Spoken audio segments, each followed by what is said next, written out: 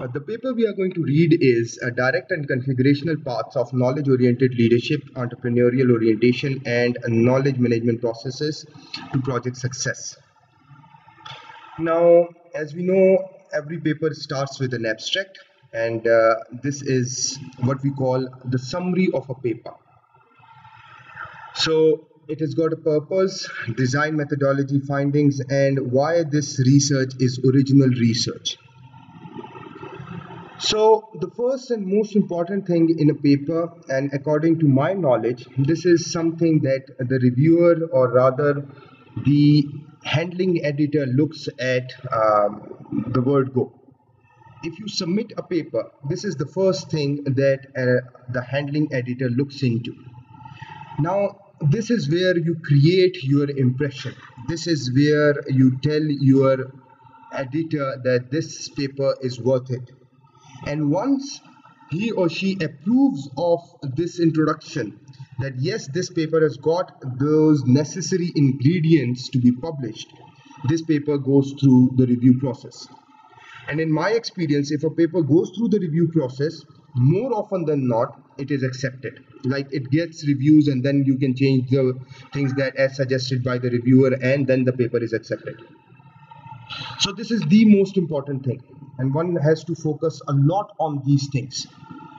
Now the first thing that whenever you are writing an introduction the first paragraph or first two paragraphs they are based on value of research or rather the value of the topic. So you start with emphasizing on the importance of the topic why this topic is worthy enough to be studied why is this topic important in the field of management? Now, in this case, the focus is on knowledge related areas knowledge oriented leadership, entrepreneurial orientation, and knowledge management processes. So, in this paper, what we have done is we started with knowledge. So, if we read through the first paragraph, we'll find out that this paragraph talks, talks about why knowledge is important or why knowledge management is important for an organization. Now it starts with to achieve competitive advantage, firms needs to combine and deploy several firm level resources and capabilities. Knowledge has been identified as one of the key resources that help improve the human capital for different types of organization. Now, you see these two sentences, these are not separate sentences. Rather, this sentence here, first sentence, is complemented by this second sentence here. On one hand, you are saying that organizations, if they want to compete and if they want to be successful, if they want to achieve competitive advantage, they have to have resources and capabilities. And then there is a sentence, a reference as to knowledge is a critical resource. And further, knowledge management is seen as the management processes is seen as the management processes and activities that organization practices to improve the effectiveness of generating creating and sustaining organizational intellectual assets so assets obviously these are resources so knowledge management is one of those aspects within the organization that helps you improve your organizational intellectual assets.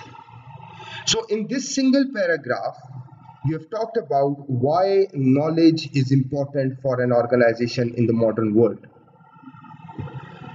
So you start your paragraph with the concept from your paper or the, the construct from your paper that is critical. One that actually has more gaps.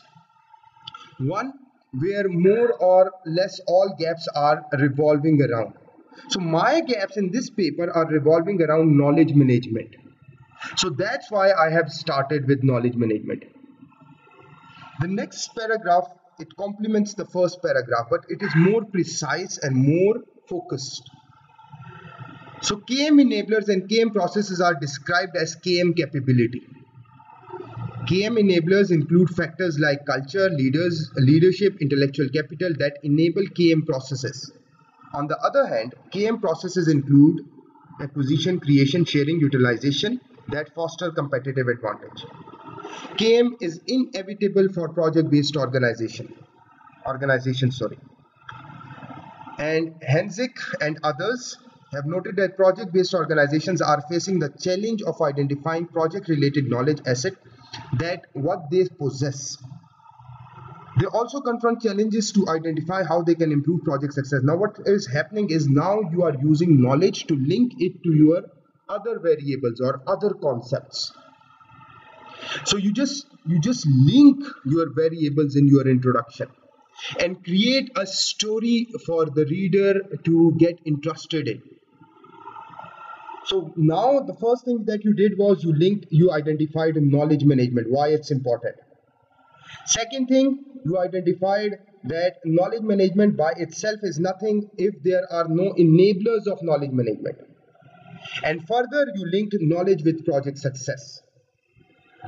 Now, research has asked for identification of different factors. Now, once you have identified the value of your topics, the importance of the concepts in your study, and you have tried to link them with each other, the next step is identifying the existing research in the area. So what is the existing research? Research has asked for identification of different factors that can be critical to project or success of the project. Existing literature has identified several gaps pertinent to the role of KM enablers. These are the two enablers that are being taken that have been taken in this study. KM processes and PS that shall be addressed. So these are the three critical aspects of this research. These are the three construct you can say these are the three factors these are the three uh, what do you call it like uh, uh, the, the the factors that combine to create the theoretical model in this study. So one needs to focus on these aspects. So what are the gaps related to these aspects? The next important thing is identifying the gaps related to these aspects. Now what you do is in the form of points like first, second, third, you identify the gaps related to these three building blocks of your model.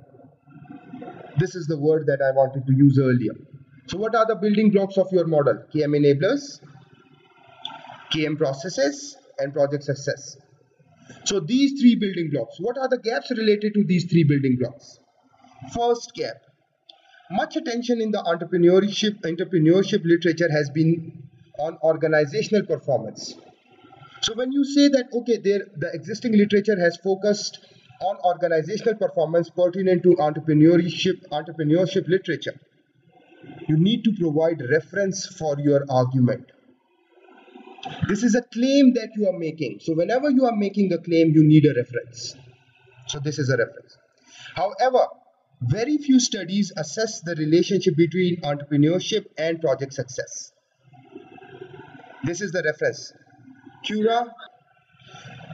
So, mortis. Sorry, I clicked the link. Just let me go back up.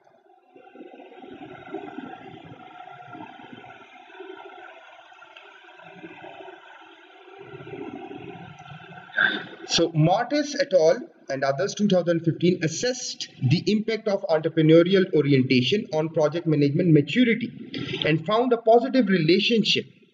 More recently martins and others 2018 in the first is in the first attempt to ascertain the direct impact of eo on ps found a significant relationship. So there has been very little research. So when you are saying that there is little, little research you need to explain that little research. And this is what we have done here Moving on. Now the second point. To the best of author's knowledge, with the search of Web of Science, there is only one research that has included the variables knowledge leadership and PS in a single study. And that was done by Yang. And what they did was, they did not assess the impact of knowledge-oriented leadership on project performance. Rather, they assessed the impact of knowledge-oriented leadership on customer knowledge management Hence, our study will be the first one to assess the impact of knowledge-oriented leadership on project success. So now you have proven to the reviewer that this is something that has not been done before. This creates interest in the reviewer, in the editor, and you get you, you, you, you will get that nod that you are looking for so that your paper goes into the review process and you get positive reviews. Now, how am I sure that this is one of the first paper? Because Web of Science is the most reputed database for the journals or all the journals in those reputed databases are actually listed in Web of Science. So if you are giving a reference of Web of Science, every editor can go on to Web of Science and check this claim.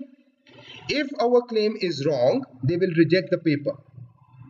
The reviewer can go and check. And if our claim is wrong, the paper can be rejected. So this is a very big claim that we make, but we make it with a reference. We make it with a proof.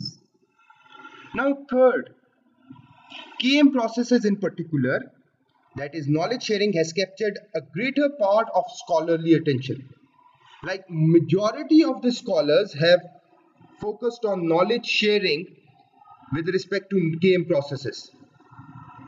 While other processes have not been studied in that detail. The role of EO has been or entrepreneurial orientation has been assessed as a predictor of limited number of KM processes such as knowledge utilization, knowledge sharing, knowledge creation. So there have been only three studies that have linked entrepreneurial orientation with these knowledge management processes. But there are other knowledge management processes as well. Those have not been taken into account. Additionally, entrepreneurial orientation literature linkage to knowledge related activities in the organization has attracted much less scholarship. This is a very latest reference. So with reference, I am saying that there is a need for further research. Hence, in the present study, there, there are we've, we've taken many in, many KM processes: identification, creation, collection, organizing, storage, sharing, application. How do you find these references? This is an important point. You search these databases. You search for the, the constructs that you are using. You search them in like in togetherness, like you search entrepreneurial orientation with KM processes. You come across a few papers. Look what they have studied. Find out what variables they have taken into account, what constructs they have taken into account, what dimensions they have taken into account. Now, when I searched, I only found these papers, these three papers with entrepreneurial orientation. But there are other knowledge management processes as well. So I included other knowledge management processes as well. Fourth, KOL is still a new concept. And according to Shamim and others, it's a very new concept. It's still in its infancy. Donate and de Pablo assessed the impact of KOL on four KM processes and have, and have addressed or stressed the necessity to carry out additional research that how KOL can improve KM processes. Additionally, there is significantly limited research on the impact of leadership on knowledge management practices. Again, I read a paper on leadership and knowledge management practices and found out that Bewick says that there is very, very little research. Further, existing research has evaluated the impact of limited number of KM processes on project success and this this is the reference. Now what you need to do is how will you get these references? You will get these references only and only if you read as much as latest research as possible on the concepts that you are studying. The more you read the concepts that you are studying that are the building blocks of your model the more you will get these gaps. Moving on Project success can be affected by a number of different factors and a combination of different factors can enhance the chances of project success. However, prior research has relied primarily on symmetrical correlational methods to provide general information about the factors that affect PS. This is the methodological contribution of this paper. Now, since I've used FSQCA as a technique in this paper, I searched for whether FSQCA has been used with project success and I could not find many papers that have used FSQCA with these uh, this project success, the construct of project success. Now, the crux of the matter is, the summary is, read as much as latest research as possible. If you've got three variables in your study entrepreneurial orientation knowledge management processes project success read read on ev- every single one of them. You will identify the gaps you might identify the new constructs in your study. And this will improve your model a lot.